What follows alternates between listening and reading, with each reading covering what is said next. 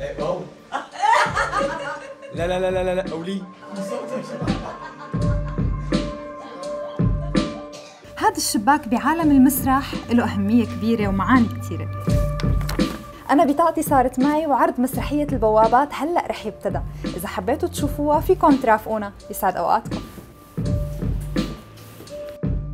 جايين نحضر عرض قصته جدية. ما توقعنا كواليسه تطلع هيك؟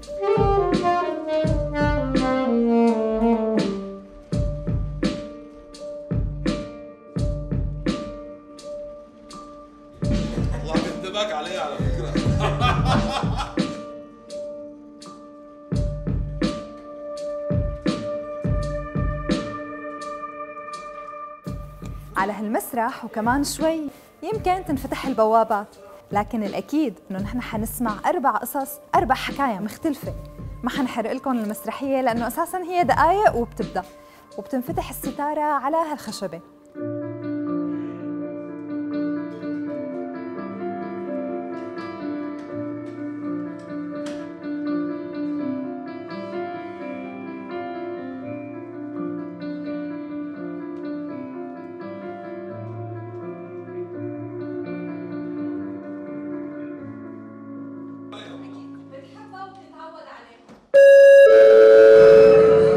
النداء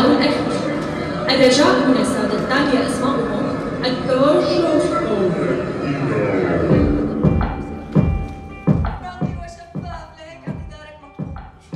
والاستاذ كمان بيعتذر إبراهيم عيسى صحفي تسكرت بوجهه بوابة المطار. مسالم خايف متلبك بس عم يحلم. هذا الرجل له التاريخ بالنص اللي هو عاكل الكف بزماناته منهان قدام مرته وابنه فعملنا له هاي ضمن ال... يعني وزمة نفسية بمكان ما فهو متعلق بكل اشيائه بشنتايته. بمساحته الداخلية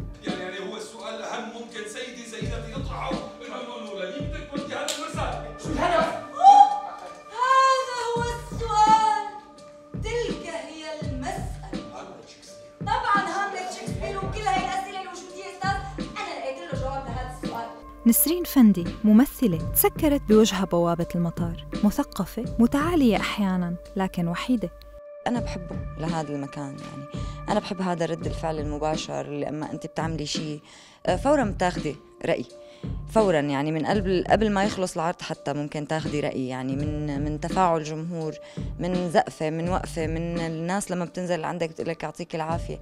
يعني هذا كله لحال. ليش يسرق لي نوتاتي هدول نوتاتي اللي أنا كاتبهم يعني لحالي أنا كاتبهم. ليه يسرقون بعدين بيقول لي يعطيك العافية ابني مالك عنا شيء. روح روح أنت تستفل. طب شو بدي أسوي بعدين؟ رحت قلت التدريس. التدريس هو هو أنا اختصاصي.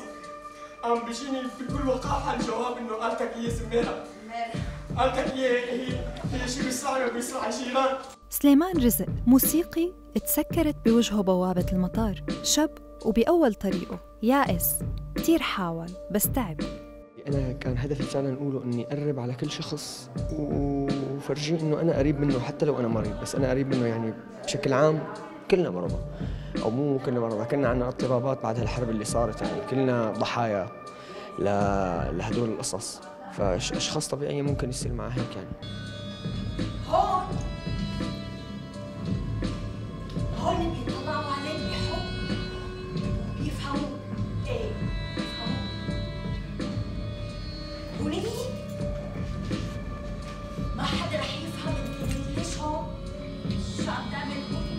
رشا زغبي. رسامة تسكرت بوجهها بوابة المطار. هادية. نظراتها ما كتير مفهومة. واختارت العزلة. هلا هذا الشيء جديد إلي. يعني أنا خريجة فنون جميلة. بس إنه بالصدفة كنت أنا بهذا العرض وهي الشخصية بتكون رسامة. آه، بورتريهات الشخصيات أنا عملتهم. الباقي اللي شفتوه أستاذ نزار بلال. آه خلاص يا جماعة روحوا إن شاء الله. سلام. محبه رواء. يعني حلوة حلوة إيطاليا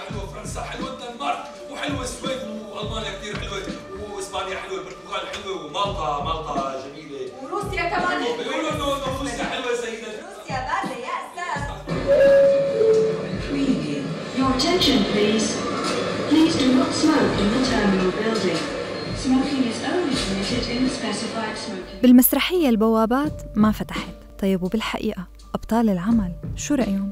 والله مو بإيدنا هذا الجواب نحن بس بنقول فما. ما ما بعرف هلا أنا متفائل هلا اليوم لا بس بالعموم أنا كتير متفائل يعني. بعد هاي الحرب تسع سنين أكيد أنا متفائل كتير. يعني هلأ رح تفتح إيه بوابات الأمل مفتوحة. يعني بدها تكون مفتوحة إجباري يعني. ما فينا لأنه بدون بدون الأمل.